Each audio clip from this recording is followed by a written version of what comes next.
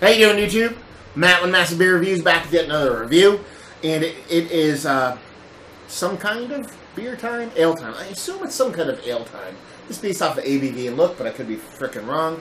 No idea what kind of beer it is. All they know it is Two Dragons by Empire Brewing. Um, never had this before. Had a couple offerings from this brewery um, when they were at Belgium Comes to Cooperstown, and um, kind of dug it. Um, dug what was having, and uh, was lucky enough to kind of hook up with them um, over uh, the internet, and they sent me off a couple bottles, and here we are. We're going to review it and see what we have. Um, yeah, let's see what it says on the bottle.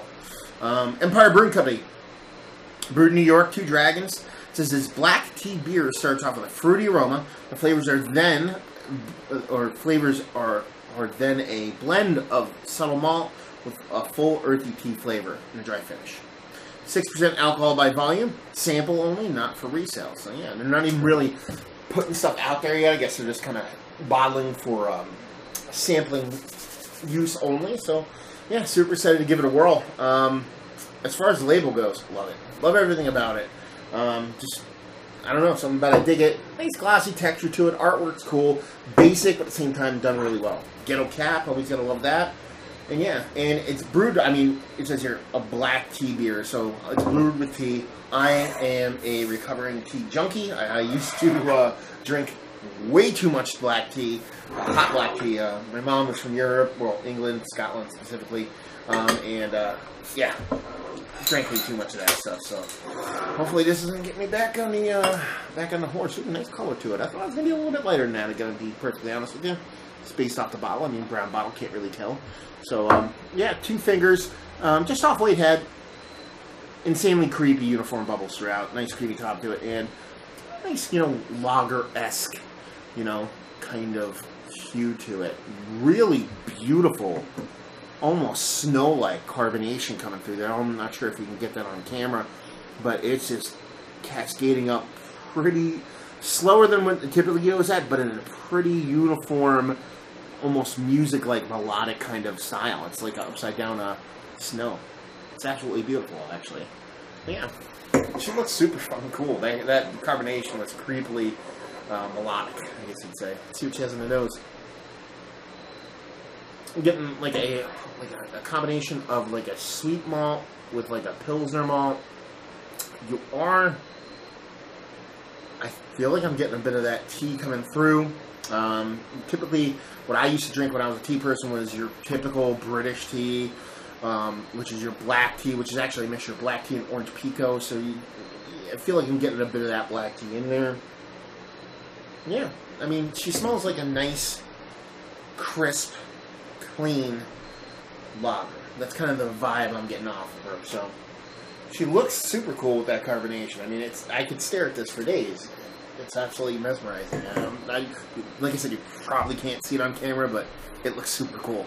Um, she looks cool. She smells all right. Let's see what she tastes like. Cheers.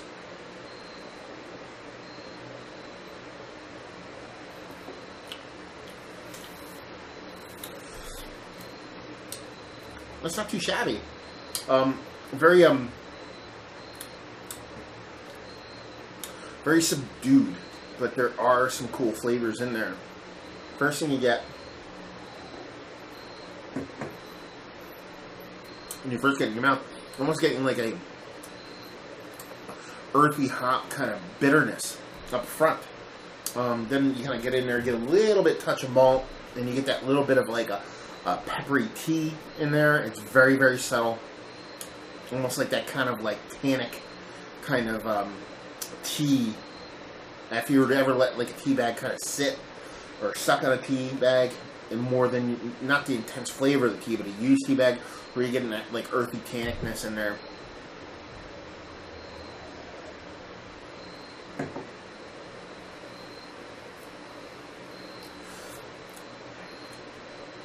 And you get a little bit of that more and more biscuity malt now. Clean, super uh, finished, super clean, and that's pretty much it. Um, very simple beer. What it does, it does well. Um, crisp and clean. Something I would actually want to drink a lot of, even though it's a little bit higher in session. 6%, you know, you wish it was more towards 5 but really nice, clean, crisp beer. Um, something I wish I could get in six packs. Again, it was, like I said, it was sent to me. I wish you could get it in six packs at a relatively low price, not too undercut pricing on a new brewery, but this is something you'd want like cases of or 12 packs of to drink more. Not that it's quantity over quality thing, it's just that the quality's there to drink it in quantity. Um, but I do think that presence, I don't know if it's the tea or if there's some light dry hopping there. It could be just the tea that's giving you that kind of peppery tannicness. I know there's some of that pepper in there, but it's really, really cool. And it just adds an added dimension to the tea. It's almost like it was dry hopped, kind of like the, the tea, you could say. Um, but yeah, I dig it. Um, right, crisp and clean, to the point, and not too shabby. Rating wise, I'm going to give it an 86. An 86 overall. Real, uh, like I said, this is, I could drink a thousand of these and will die of alcohol poisoning. But uh, realistically, I could drink a 12 pack of these, be a little bit too drunk, but be uh, pretty damn, uh, not feel shitty about myself. Um, or more than I typically feel shitty about myself. Um, so I'm going to give it 86 overall. Value availability. Like I said, I'm going to skip over all that since it's not, I don't even think it's really to market and I can't get it. And just say, if you like what, will you like this? If you like, I'm still not sure what kind of style I call it. I'd probably lean lager. American style lager. Um, to think if I called something else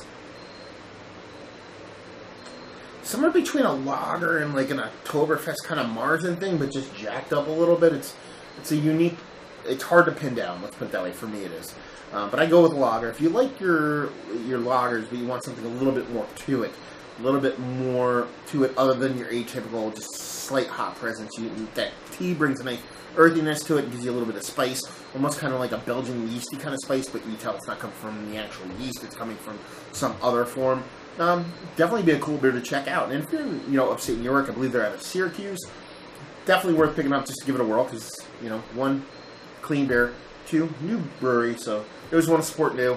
Hopefully they grow, produce, and start bottling a lot of cool stuff. So there you go. Uh, Empire Brewing's Two Dragons. Um, 86 overall and no uh, value availability scores since I don't get them. And uh, yeah, hopefully you guys enjoyed the review. Uh, if you did or you didn't, somewhere in between, please leave a comment in the comment section below and like, subscribe, and all that fun, fun stuff. If you want to check us out anywhere else on the internet, you can. Facebook, Twitter, Instagram, Untappd, Massive Beers in all four of those places. And uh, yeah, another review down. So hopefully you guys enjoyed the review. Hopefully enjoying a nice, creative lager, I guess you'd say. And hope to see you next time. Cheers.